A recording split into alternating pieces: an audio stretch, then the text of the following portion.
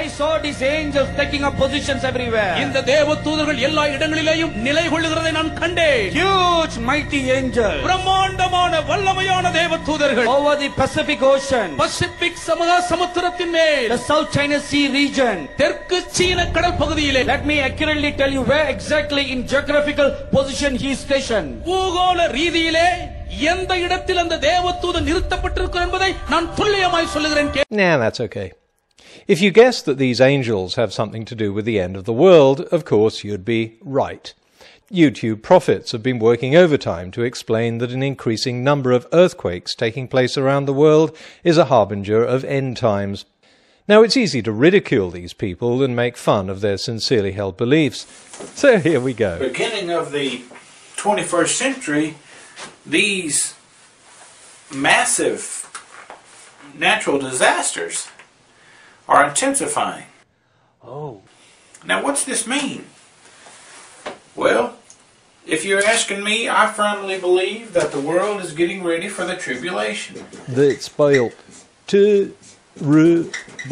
Alright? The world is preparing for this, whether you believe it or not. You know, the Bible warns us, of course, of the increasing number of earthquakes, right? As the return of the Lord draws near, as the day of the Lord draws near, right? That you're going to see increasing number of earthquakes. Now, we've already seen the, the quake, and then we, we've had a second quake now, right? With a different epicenter in Japan. Okay, that's two. So the obvious question to ask is, are we really seeing an increasing number of earthquakes? Not one single creationist, televangelist, or self-proclaimed prophet bothered to even ask this question or check to see if their premise is correct. So I suppose I'll have to do it for them. The United States Geological Survey keeps tabs on the number of earthquakes worldwide, and no surprise, it turns out that earthquakes of magnitude 7 or greater have remained fairly constant. The perception that there are more earthquakes may be the result of more numerous and accurate seismometers, as the USGS suggests, but it may also be because the worldwide reach of satellites and television news means creationists are more aware of what's going on in the world beyond the moonshine still and the hay barn. It would help if their understanding of the past equally extended beyond the most recent hoedown.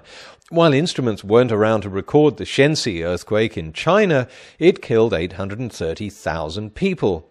On that scale, this should have been the mother of all harbingers of the end of times, except that the world didn't end. The earthquake happened in 1556. 230,000 people were killed in an earthquake near Aleppo, Syria, and the world didn't end then either, in 1138. Around 200,000 died in an earthquake in Iran in 856, 100,000 in China in 1290. None of this seems to have ended the world, and the activity has not got any worse. Earthquakes are caused by the movement of tectonic plates. When two plates get jammed, stress accumulates, and when the jam is broken, the plates move suddenly and cause an earthquake.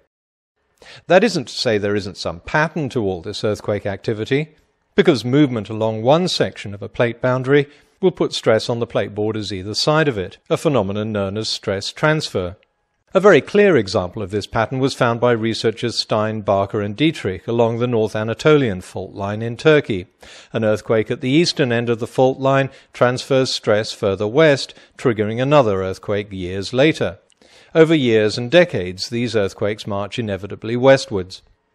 There may even be an external cause that triggers seemingly unconnected earthquakes in different parts of the world, because although the cause of large earthquakes is crustal movement, many faults around the world are under great stress and close to rupturing, so it doesn't take much to trigger them. Teleseismic waves, for example, which travel through several plates, and even global weather patterns. Research shows that a sudden drop in atmospheric pressure can trigger earthquakes, uh, but it still doesn't mean Danny Glover was right when he said the Haiti earthquake was caused by global warming. There's also the tidal effect of the moon's gravitational attraction, which moves the Earth's crust as well as the oceans. There are still a lot of unknowns that may cause earthquakes to cluster in different parts of the world over a period of years. But according to the USGS, there's still no unusual pattern of earthquakes occurring so far this century compared to the long term. We, we just have to give thanks to God that there's no one dead. I mean, there's lots of damage to property and things, but there's no one dead, and everybody agrees. Normally, when you when you hear of earthquakes, you, you look at people going through rubble looking for dead, living persons and dead persons, and there's nothing like that in Christchurch. And this has to be one of the wonders of the world. That, of course, was after the so-called miracle earthquake that hit Christchurch last year. A few months later, another earthquake hit the city and nearly 200 people were killed. For some reason, Bishop Jones didn't go on television again to talk about the wonders of the Lord or his pious interpretation of seismic geology. Glenn Beck, on the other hand, well, here's what he thought President Obama should say when the Japanese earthquake struck in March. My fellow Americans, I know that you, like me, are heartbroken over what the people in Japan are enduring right now. There was a massive earthquake, 9.0. You know it. You can't avoid it. You've seen it everywhere. It's one of the largest earthquakes on our planet's history. Of course, it's not. Our planet has been through much bigger earthquakes, but no one can fault the sentiment. Anyway, that's what Beck said when pretending to be the president. Here's what Beck said about the Japanese earthquake when he was playing himself. I'm not saying God is, uh, you know, causing earthquakes. Well, uh, no, I'm not saying that he. I'm not not saying that either. God, yeah. God, uh, what God does is God's business. I have no idea, but I'll tell you this: whether you call it Gaia or whether you call it Jesus, there's a message being sent, and that is hey, you know that stuff we're doing? Not really working out real well. Maybe we should stop doing some of it. I'm just saying. Well, Glenn, if earthquakes are a punishment to mankind for our sin, then why are the only people being punished those who live near seismically active fault lines? Does human wickedness only happen along the edges of crustal plates? If earthquakes are a sign of anything, they're a sign that crustal plates are continuing to move just as they have for millions of years, and the Earth's geology is pretty much the same as it's been since the Cambrian. If anything was going to herald some supernatural end of the world, it would surely be if the Earth's crustal plates stopped moving and we got no earthquakes. But earthquakes aren't the only sign of impending doom, apparently. All sorts of nasty things are now going on in the world. We have these natural disasters. We have people murdering each other. We, Wow, that's we unheard have Parents killing their children. You can't even keep up with what's going on anymore. We have this economic problems all over the world. Yep, this never happened before. These things are going to get worse Spill it again. and worse And again. and worse, okay? Okay, that's enough. Signs of Judgment Day. The End Times. The Sean Connery impersonator is right. Just listen. In the near future, ignoramus is amongst profuse knowledge, unjust wars and earthquakes will increase. Wealth, promiscuity, and unheard of diseases will spread, and good manners and family ties will cease. A slave girl will give birth to her future master. The moon will appear bigger. Women will outnumber men 50 to 1, and wild animals will speak. Foot odor will become a sexual pheromone. Bird crap will become bigger and whiter. The Italian Prime Minister will grow a new body part, but no one will know what it is. A man will scoff and say, Look, I've got nothing against these prophecies. Look, I've got nothing against these prophecies. Anyone is free to prophesy anything they like. But don't piss on the roof and tell me it's raining. If the end of days is supposed to see an increase in war, pestilence, and famine, then we've seen the opposite happening. In the last 2,000 years, we've never been healthier, better fed, and more at peace.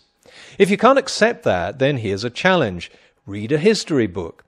Then find any decade in the past 2,000 years when war, famine, and disease were less prevalent than the last 10 years. Find a time when we were more at peace. Find a time when average life expectancy was higher, when disease was lower, or when the world was better fed. We may have conflicts in Afghanistan and Burma and elsewhere, but we have nothing to compare to the 8th century An Lu rebellion that killed around 15% of the world's population.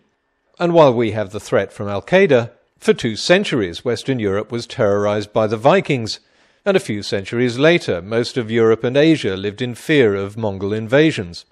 You think AIDS is a sign of increased pestilence? What about the Black Death, bubonic plague that wiped out a third of the population of Europe in the Middle Ages, or the depopulation of the Americas from introduced diseases? What about cholera, measles, polio, typhoid, and smallpox that were once prevalent but have now either disappeared or been brought under control? Now the average life expectancy of the world's population is the highest it's ever been. Ironically, in this age of science and reason, it's easier than ever to set yourself up as a sagacious prophet. All you need is to have a basic knowledge of seismic geology and an audience that doesn't. Choose an active tectonic plate boundary and prophesy a major earthquake. And I recommend going for the region of the world that's more seismically active than any other, the western rim of the Pacific. I guarantee you'll be able to hail yourself as a prophet the next time the crustal plates move. But don't just take my word for it. Listen to this little here. One more time it will happen again. மீண்டும் ஒரு முறை கூட அது திரும்பவும் சம்பவிக்கும் That is why those angels are positioned and stationed in the Pacific Ocean. ஆகவேதான் இந்த தேவ தூதர்கள் பசிபிக் சமுத்திரத்திலே நிறுத்தப்பட்டிருக்கிறார்கள் One more time it's going to take place. மீண்டும் ஒரு முறை கூட இது சம்பவிக்கும் Fear God. தேவனுக்கு பயப்படுங்கள் Fear God. தேவனுக்கு பயப்படுங்கள் The hour of his judgment has come. அவருடைய நியாய தீர்ப்பின் வேலை In வந்து that time, be rumours of things going astray, um, and there shall be a great confusion as to where things really are, and nobody will really know where lieth those little things.